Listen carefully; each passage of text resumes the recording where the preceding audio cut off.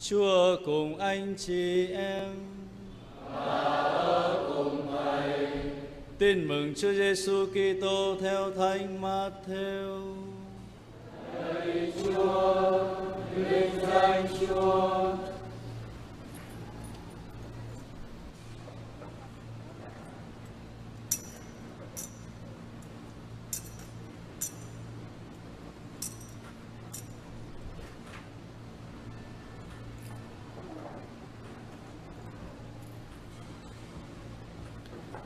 Khi ấy, Đức Giêsu nói với các môn đệ rằng: Anh em biết, thủ lệnh các dân thì lấy quyền mà thống trị dân, những người làm lớn thì dùng uy mà cai quản dân.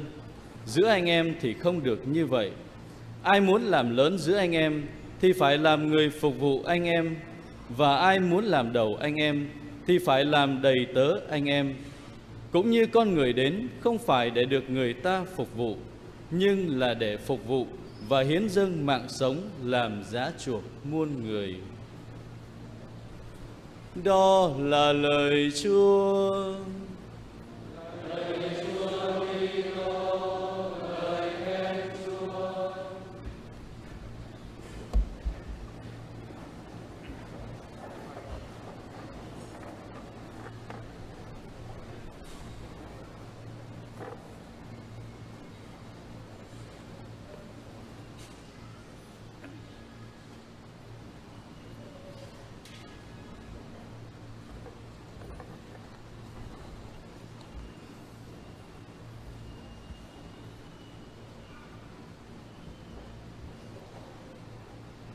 Kính thưa cộng đoàn dân Chúa,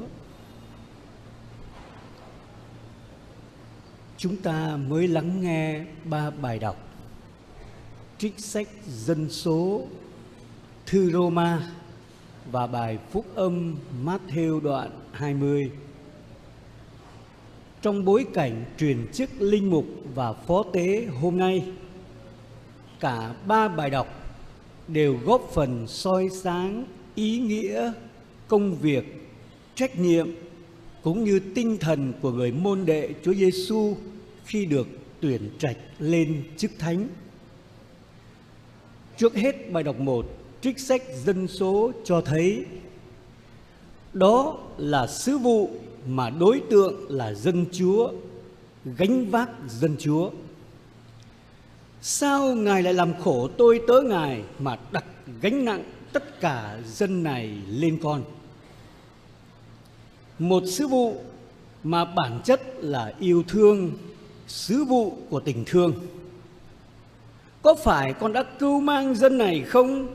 Có phải con đã sinh ra nó không? Mà Ngài lại bảo con hãy bồng nó vào lòng như vú nuôi bồng trẻ thơ. Sứ vụ do Chúa trao để làm công việc của Ngài. Đem chúng vào miền đất mà Đức Chúa đã thề hứa với cha ông chúng.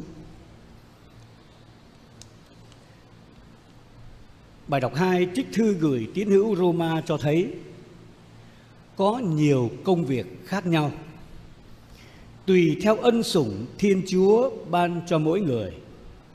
Ơn ngôn sứ, ơn phục vụ, ơn dạy bảo, ơn khuyên răn, ơn ban phát, ơn chủ tọa, ơn làm việc bác ái. Ai chủ tọa thì phải nhiệt tâm, ai làm việc bác ái thì vui vẻ mà làm. Chúng ta biết các tân chức đây rồi sẽ được trao mỗi người một việc khác nhau bởi được ban những đặc sủng khác nhau. Bài giảng mẫu trong nghi thức truyền chức nhắc đến các công việc khác nhau mà các thầy phó tế hoặc linh mục sẽ thực hiện theo chức năng. Rồi trong bài phúc âm, Chúa Giêsu dạy dỗ các môn đệ về tinh thần của người khi được trao sứ vụ làm đầu anh em không thống trị cậy quyền mà ai muốn làm lớn giữa anh em thì phải làm người phục vụ anh em và ai muốn làm đầu anh em thì phải làm đầy tớ anh em Chúa Giêsu còn nêu gương của chính Ngài. Cũng như con người đến không phải để được người ta phục vụ mà để phục vụ và hiến dâng mạng sống làm giá chuộc muôn người. Kinh Thánh ghi lại năm loại phục vụ của Bô-xê phục vụ bánh, thịt, nước uống, phục vụ qua việc lãnh đạo, chuyển cầu cho dân, an ủi dân Chúa và phục vụ lời Chúa. Riêng với anh em dòng Salesian Đông Bosco, đặc sủng phục vụ và hiến dâng mạng sống này đặc biệt hướng đến người trẻ như sứ điệp Đức Thánh Cha Francisco gửi tổng tu nghị 28 của dòng tại Valdoco vào tháng 3 năm 2020. Thật ý nghĩa, việc Chúa Quan Phòng dẫn đưa anh em cử hành tổng tu nghị tại Valdoco để như nhắc anh em, hãy khơi thắm lại hồng ân đặc sủng sa lê riêng dấn thân cho người trẻ. Hãy để những tiếng ồn ào, hò la của các nguyện xá làm nhạc nền cho tổng tu nghị của anh em. Những tiếng ồn ào đó gợi lại khuôn mặt của biết bao người trẻ mà vì nhiều lý do đang giống như đoàn chiên không người chăn dắt. Hồi ký nguyện xá thuật lại rằng Đông Bosco nhận ra đặc sủng của mình khi đối diện với thực trạng của những đứa trẻ trước mắt. Khi chọn lựa và tiếp nhận thế giới của trẻ em và những người trẻ bị bỏ rơi, thất nghiệp, không được dưỡng dục. Ngài đã cho các em có được kinh nghiệm đích thực về tình phụ tử của Thiên Chúa và cung ứng cho các em những phương thế để có thể thuật lại cuộc đời mình dưới ánh sáng của tình yêu thiên thượng diệu kỳ. Ngược lại, trong trường hợp Sally riêng, chính những người trẻ nghèo khổ lại giúp canh tân đặc sủng Sally riêng. Các tân chức sẽ dấn thân trong những lĩnh vực môi trường, công việc khác nhau. Trong năm loại phục vụ của Mô-xê mà Kinh Thánh ghi lại – Tôi chỉ xin nêu ra một loại phục vụ này mà tôi thiết nghĩ không bao giờ là vô ích hay lỗi thời. Đó là phục vụ bằng việc cầu nguyện hay gọi là chuyển cầu. Ví dụ điển hình là việc Moshe chuyển cầu cho dân Israel trong cuộc chiến đấu với dân Amalek. Khi nào ông Moshe giơ tay lên, thì Israel thắng thế. Còn khi ông hạ tay xuống, thì Amalek thắng thế. Nhưng ông Moshe mỏi tay, nên người ta lấy một hòn đá kê cho ông ngồi. Còn hai ông Aaron và ông Khua thì đỡ tay ông, mỗi người một bên.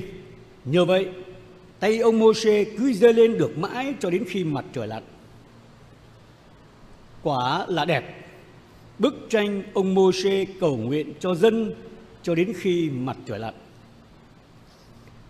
Thêm vào đó, cách thức lời ông cầu nguyện cho thấy tương quan của ông với Chúa và cả với dân gần gũi đến độ quá dạn dĩ thế nào như chúng ta đã thấy. Tại sao Ngài làm khổ tôi tớ Ngài? Tại sao Ngài đặt gánh nặng tất cả dân này lên con có phải con đã cứu mang tất cả dân này không? Có phải con đã sinh ra nó không mà Ngài lại bảo con bồng nó vào lòng, Như vú nuôi bồng trẻ thơ mà đem vào đất Chúa hứa một mình con không thể gánh cả dân này được nữa. Nặng quá sức con, Thả giết con đi còn hơn. Đừng để con thấy mình phải khổ nữa.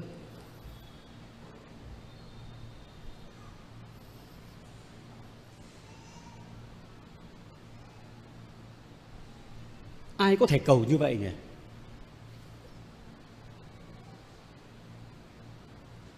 Không sợ chúa nổi giận. Chúa giáng lại à? Nhưng mà không và cái gì làm cho không và chúng ta biết đức chúa không nổi giận với ông mà lại đáp ứng bằng cách dạy ông chọn lấy 70 kỳ mục trong dân để Ngài lấy một phần thần khí đang đậu trên ông mà đặt trên họ và họ cùng ông chia sẻ gánh nặng quá sức này. Kính thưa cộng đoàn, để kết thúc tôi xin mượn lời và mượn hình ảnh chính Đức Thánh Cha Francisco đã nói với Tổng tu nghị 28 của dòng để gửi đến các tân chức. Như Thánh Đông Bosco đã để Thiên Chúa đi vào cuộc đời mình và mở rộng chân trời phục vụ qua những giấc mơ. Anh em cũng hãy ước mơ và ước mơ thật lớn.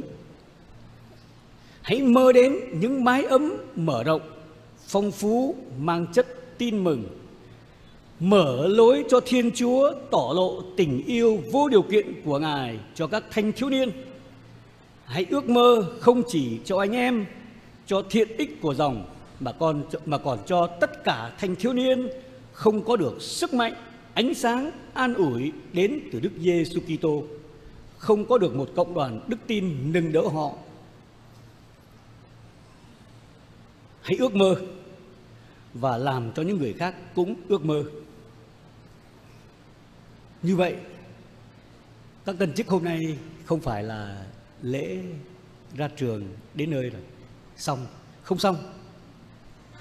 Anh em nhận sứ vụ, nếu mà nói nghiêm chỉnh là để phục vụ. Nhưng mà nói với đầy đức tin và hy vọng ấy là để anh em ước mơ. Với chức thánh có được, anh em có khả năng ước mơ rộng hơn, xa hơn và anh em không chỉ ước mơ, anh em còn phải làm cho người khác ước mơ. Niềm tin, hy vọng và ơn cứu độ của những người khác được đặt nơi anh em, những phó tế và những linh mục Đông Bosco mà tôi rất yêu mến và gắn bó.